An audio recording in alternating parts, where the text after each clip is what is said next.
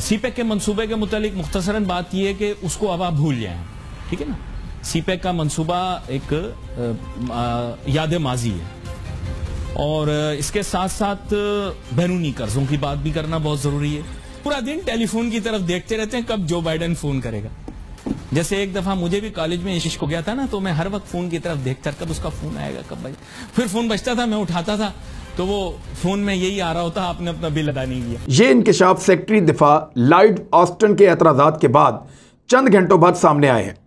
जब उन्होंने कहा कि अमेरिका ने रूस को सदर व्लादिमिर पुटिन की जानब से वस्ती एशिया में रूसी फौजी अड्डों की मेज़बानी पर वजाहत मांगी है, यानी जो उन्होंने पेशकश की थी कि इधर आ जाओ, हम अड्डे देते हैं, आगे कार्रवाई करो। न बहरहाल ये तीन सीनियर, तीन ऑफिसर्स हैं मिलिट्री के। उन्होंने ये बताया कि हम इसके ऊपर काम कर रहे हैं। पाकिस्तान ने तो इनकार कर दिया। रशिया ने ऑफ़र किया है।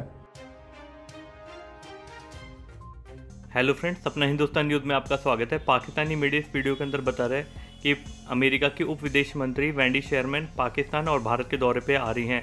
पाकिस्तान के लिए वो कुछ शर्तें लेके आ रही हैं कि अगर उन्होंने वो शर्तें मान ली, पाकिस्तान को तो कर्जा मिल जाएगा, वरना आईएमएफ और एफएटीएफ की तलवार हमारे ऊपर लटकती रहेगी।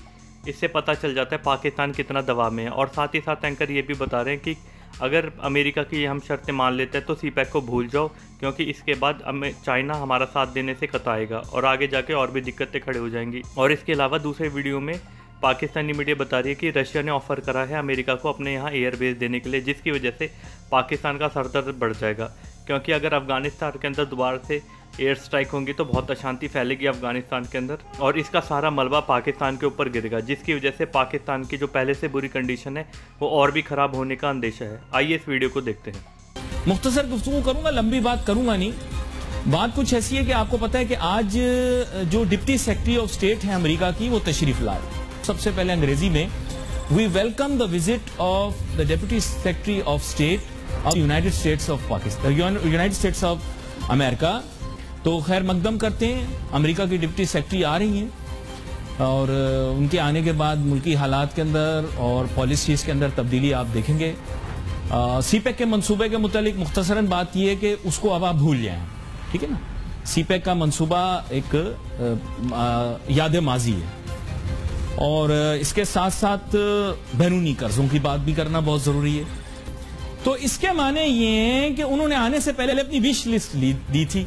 कि भाई ये ये ये ये काम आपको करने पड़ेंगे, हम आपको मिलने के लिए आएँगे। यकीन करें, पूरा दिन टेलीफोन की तरफ़ देखते रहते हैं, कब जो बाइडन फ़ोन करेगा।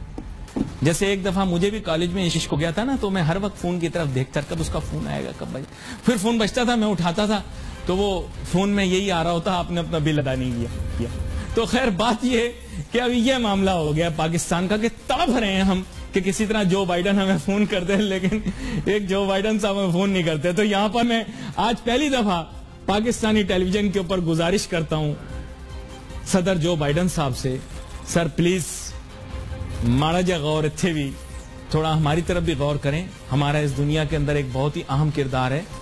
और ये तो मैं नहीं कहता, लोग कहते हैं जी ये हमने दूसरों की जंग लड़ी। मैं, मैंने तो नहीं लड़ी। आई डोंट नो लोग ये क्या बोलते हैं। पाकिस्तान ने दूसरों की जंग लड़ी। मैंने नहीं लड़ी भाई। वो जिसने लड़ी मुशरफ वो अयाशी के अंदर बैठा हुआ फुल इंजॉय मज़े नहीं लाइफ हम लोग ऐसे ही कह रहे हैं, हमने उनकी जंग लड़ी। हमने किसी की जंग नहीं लड़ी। और मैं आपको क्लियर कट बताता हूँ कि कर्जे माफ़ हो जाएँगे। अगर आंटी के साथ सही डायलॉग किया मेरे साथ बहुत ही आम मेहमान शामिल गुफ्तु हैं डॉक्टर शाहिद हसन सिद्दीकी साहब। वेलकम करता हूँ सर आपको। मेरी इस मज़ेदार गुफ्तगु से मेरे ख्याल से आप महसूस तो हो रहे होंगे। और बैन अवी मामला के ऊपर आपकी गहरी नज़र भी है। आप जानते हैं कि ये बैरूनी कर्जों का कितना अहम ताल्लुक है, है आईएमएफ का वर्ल्ड बैंक का और दीगर ममालिक से जो हमने पैसे पकड़ रखे हैं इनका पाक अमेरिका ताल्लुकात से कितना अहम ताल्लुक है। मेरी ऐसी तवक्कुआत हैं, क्योंकि आप काफ़ी दफ़ा वाजे कर चुके हैं कि इस हुकूमत ने अपने तीन साल में इतने कर्जे ले लिए, आज आप उनका तखमीना भी बताएँगे। मेरे ख्याल से उसमें आज हमें बहुत रिलैक्स और रिलीफ मिलेगी। अगर हमारा डायलॉग ठीक हो जाता है अमेरिका की डिप्टी सेक्रेटरी ऑफ़ स्टेट के साथ, क्योंकि रूठों को मनाना अब हमारी मजबूरी बन गई। लेकिन आपका अपना पर्सपेक्टिव होगा। और आप अपना पर्सपेक्टिव खुल के पेश करें, क्योंकि मुझे बड़ा अच्छा लगता है आप खुल खुला के बात करते हैं। लोग लेकिन लेकिन डॉक्टर शाहिद हसन सिद्दीकी साहब, ये जो अब शेकल्स हैं, मैं वर्ड तो नहीं यूज़ करना चाहता, ये शेकल्स ऑफ़ स्लेवरी जो अब पाकिस्तान ने पहन लिए हैं, जिन्हें हम कंगन समझ रहे हैं, लेकिन ये कंगन नहीं, हथकड़ियाँ हैं कर्जे की।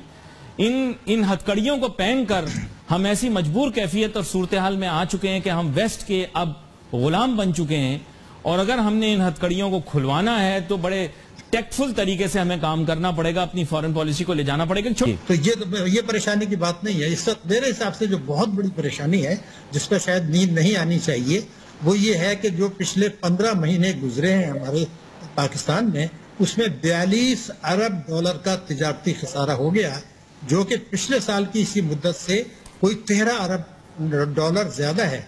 यानी हमने शुरू में मीशत को चोक करके जो करंट अकाउंट डेफिसिट कम किया था जिसकी वजह से शरह नमो सुस्त हुई थी अब वो वापस उसी जो है सत्रह और उन्नीस दो हज़ार सत्रह दो हज़ार उन्नीस पर आपका इस साल करंट अकाउंट डेफिसिट जा रहा है। अगर आपके मई से अब तक अट्ठारह रुपए डॉलर में गिर गए एक डॉलर में अट्ठारह रुपए गिरे हैं मई से अब तक। यानी मौजूदा टाइम्स के अंदर जो अमेरिका का सबसे पुराना दुश्मन है वो रशिया है रूस। वो उसके दरवाजे पे पहुँच गया है। यानी रूस ने एक मौका पर अमेरिका को ये ऑफ़र किया था कि मैं आपको अड्डे देता हूँ इधर आए सेंट्रल एशिया में। मेरे पास रहें, आप मेरे मेहमान बने, यहाँ से आप जाएँ, जाके अफ़गानिस्तान पर नज़र रखें। लेकिन उससे अमेरिका अगर रशिया से मदद लेता है तो वो इस खत्ते में रशिया के मरहूने मिन्नत हो जाएगा। फिर जो भी काम अमेरिका कर रहा होगा, उसके अंदर रशिया की इन्वॉलमेंट होगी। और इस खत्ते में अमेरिका आज़ादी के साथ वो कुछ नहीं कर पाएगा, जो कुछ वो करना चाहता है। रशिया के साथ मौजूद रहने की वजह से कुछ चीज़ों के अंदर अमेरिका को प्रॉब्लम फेस करनी पड़ेगी। लेकिन ना होने से कुछ होना बेहतर है। इस बुनियाद पे अमेरिका, अफ़गानिस्तान के साथ सरहदों पर दहशतगर्दी के खिलाफ कार्रवाई के हवाले से इन ममालिक के साथ बातचीत कर रहा है। ये इंकशाफ सेक्रेटरी दिफा लाइड ऑस्टन के एतराज़ात के बाद चंद घंटों बाद सामने आए हैं। जब उन्होंने कहा कि अमेरिका ने रूस को सदर व्लादिमीर पुटिन की जानब से वस्ती एशिया में रूसी फौजी अड्डों की मेज़बानी पर वजाहत मांगी है, यानी जो उन्होंने पेशकश की थी कि इधर आ जाओ, हम अड्डे देते हैं, आगे कार्रवाई करो बहरहाल ये तीन सीनियर, तीन ऑफिसर्स हैं मिलिट्री के। उन्होंने ये बताया कि हम इसके ऊपर काम कर रहे हैं। पाकिस्तान ने तो इनकार कर दिया। रशिया ने ऑफ़र किया है। सेंट्रल एशिया के मुल्कों में जाएँगे। इसका इम्पैक्ट बड़ा खौफनाक होगा उन मुल्कों पर देखिए, मामला ये है कि पाकिस्तान के ऊपर जितनी दहशतगर्दी आई, वो अमेरिका का साथ देने की वजह से आई। अब अगर ताजिकिस्तान, उज़्बेकिस्तान, किर्गिस्तान, आपको याद होगा, पाकिस्तान में उज़्बेक दहशतगर्द भी आते रहे हैं। पाकिस्तान में ताजिक भी आते रहे हैं। ये खत्ते के लोग बड़े ख़तरनाक हैं। वो बड़े जंगजू भी हैं। अगर उज़्बेक, ताजिक और किर्गिस्तान के लोग वहाँ पर रिएक्ट करते हैं या तालिबान के हामी वहाँ पर रिस्पॉन्ड करते हैं तो उसका इम्पैक्ट आएगा अमेरिका पे। और अमेरिका को भुगतना पड़ेगा या उन मुल्कों को भुगतना पड़ेगा जो अमेरिका को अड्डे देंगे। कुछ ना कुछ तो असरात आएँगे और वो वक्त गुजरने के साथ साथ बढ़ते जाएँगे। यानी खुद कुछ हमले सिक्योरिटी